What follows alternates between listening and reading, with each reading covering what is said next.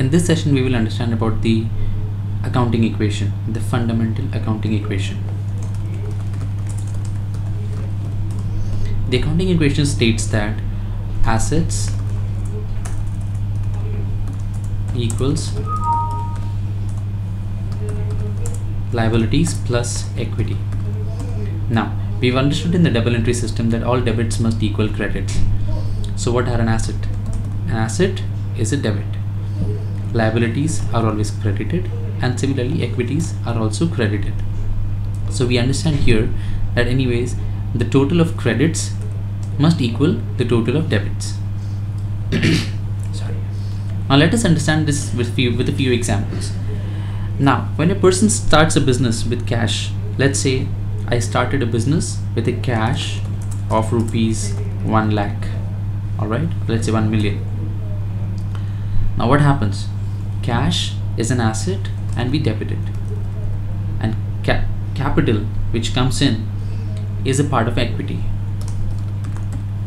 And we credit capital and that will be a credit.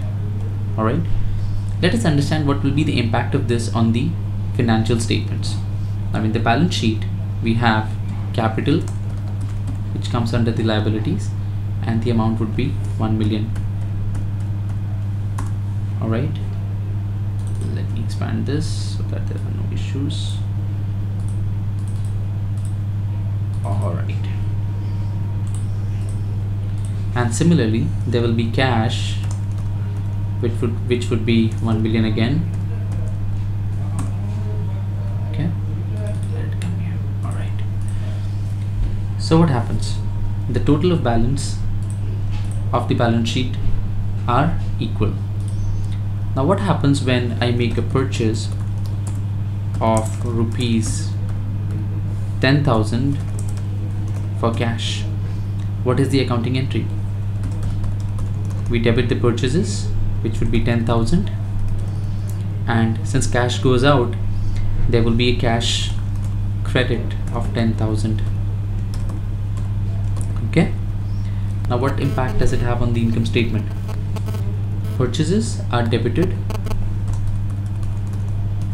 and the amount would be 10,000 now see what happens. The total of the income statement should be the same but we do not have anything on the credit side. What happens? In order to balance this we would have to have a loss assuming that there are no other transactions and the amount would be this okay?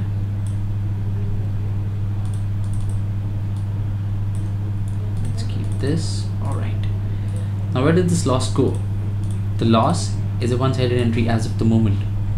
But this has to go to the this has to go on the balance sheet. Okay? So there will be a loss. Or let's keep it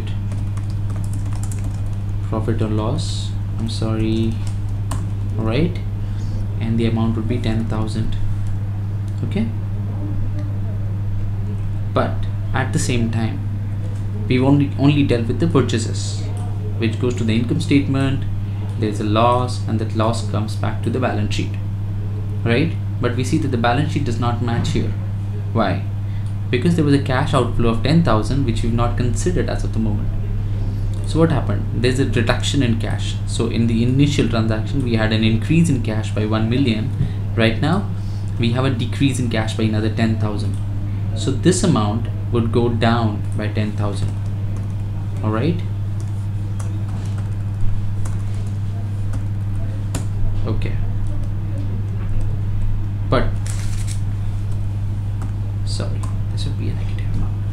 So this is how your income statement and the balance sheet matches for this transaction and these transactions. So there are only two transactions in the business as of the moment.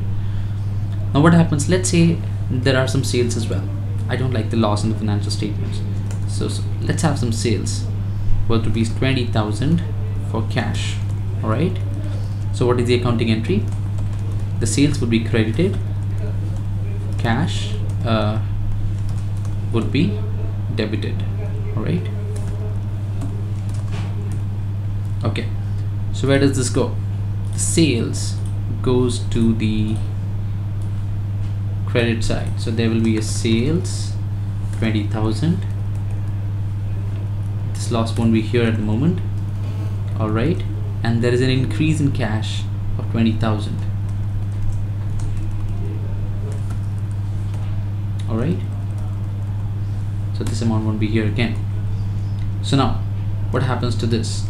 The income statement is not matched right in order to match the income statement there has to be a profit. And what is the profit amount? It will be the difference between these two.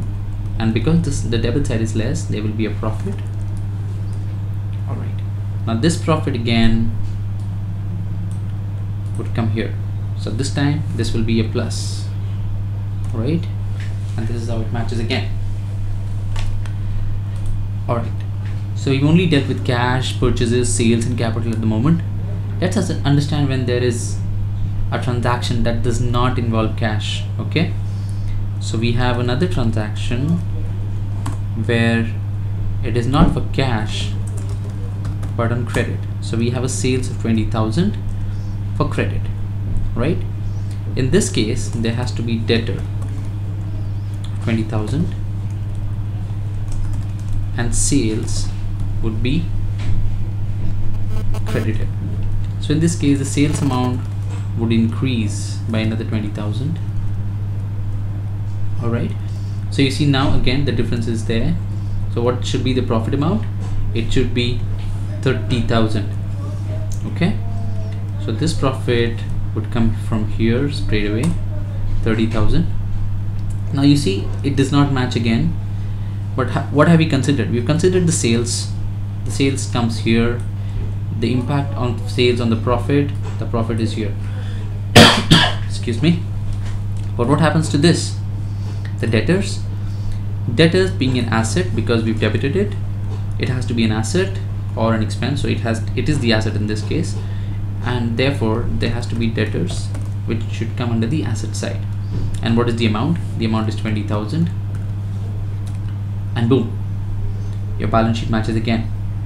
Wow so this is how we see that every transaction in the business has to be an equal amount of debit and credit.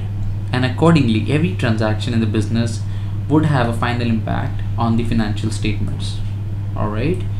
We have to understand another thing that the financial statements must always balance. So if there's any differential amount it has to be balanced which will be taken to the financial statement or the next year accordingly thank you